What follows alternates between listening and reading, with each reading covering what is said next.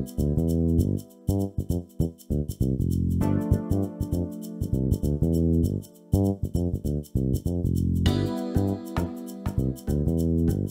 20 years, I was a park ranger in California and in Oregon, both state parks and county parks. And I am retired, I've been retired for about 13 years. Well, fiber art, uh, especially, well, fiber art gives you the freedom to produce what you want. The key thing that really appealed to me about it is there are no rules. You paint with fabric, and uh, then you can explore beyond just the fabric. How about different threads? How about shiny things? How about beads? How about different kinds of interwoven textured stuff? There's possibilities are unlimited, and that really appeals to me. My designs are most often uh, nature inspired and one of my favorite places to go uh, to uh, collect some photos uh, that I like to take is around a pond that's local in the area, and catch a shot of some wildlife. I just thrive being outside when the different things that I see as I hike along the trails or just take a walk uh, or go birding is there are certain things that just makes you pause and say, wow I don't have to keep uh, looking for how the creases in the flower or where the leaf bends or something like that. Sometimes I start out doing it like that and something takes over and all of a sudden I'm not looking at any representation at all. I'm just going with the flow. And that's when the magic starts to happen. I do do custom work, yes, uh, within certain parameters. The important part for me is to gain an understanding from the person who wants to purchase the art. If it's where I'm close enough to the person where I could go to their home and get a feel for the atmosphere of where it's going to be. Uh, if I don't have that, I want some more specifics from them. Different materials, uh, some will be very soft and some of them will be very radical. And batiks are a wonderful blending type fabric and their colors are more realistic. But then you can find fabric that's printed in geometric styles. Living in Oregon, I have artwork in the local gallery in Springfield.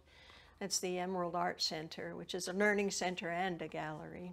So most of my artwork travels a lot more than I do. I have pieces, uh, permanent pieces in the uh, National Quilting Museum in Paducah, Kentucky. If you're an art quilter, that's a, a good place to be. And another piece I have at the University of Chicago Medical Center. I have three pieces that have uh, just been shipped to New Mexico, and they will be in a reception uh, starting in May uh, to which I will go this time. I'll, I'll be there with my pieces when the, uh, on opening night. And from there, they will travel for the next two years at different places. Another piece in New Mexico was purchased by a collector. I've recently uh, been invited to participate in a, a, World Art Quilters Challenge, and the piece that I have in it has been accepted and it will travel first to Japan and then to France and then back to the United States. And that will be in a three-year process.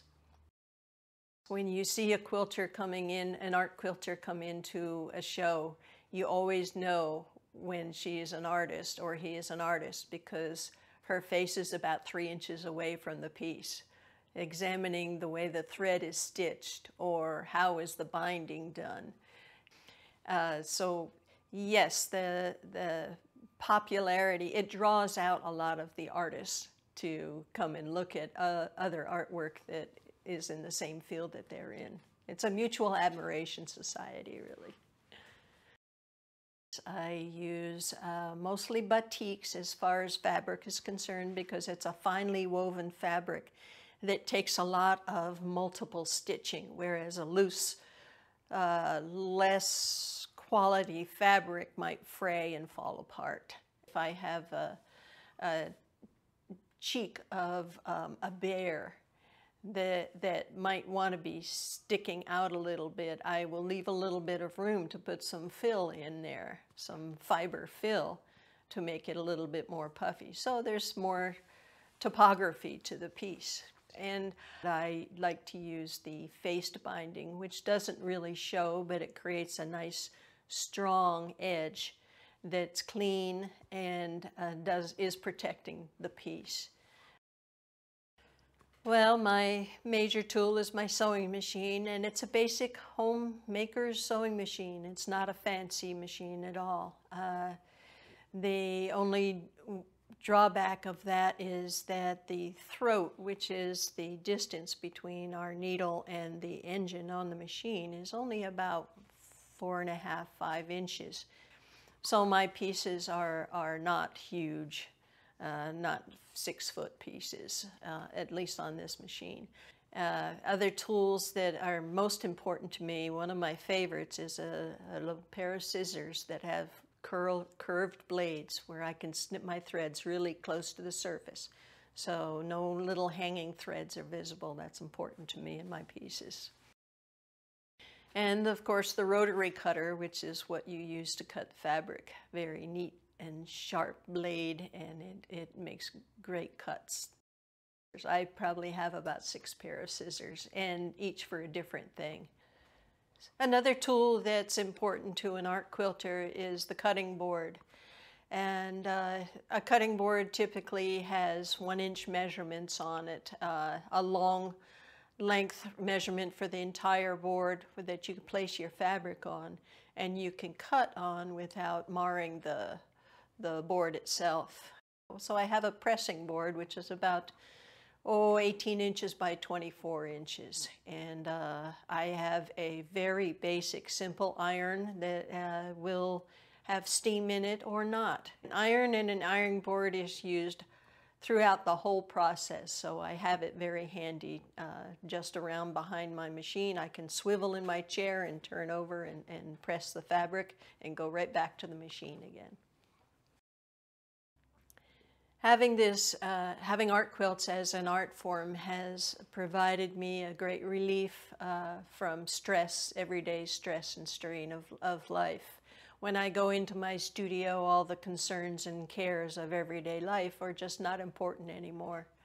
And I can go in there and let my creative juices flow, and everything else is very unimportant.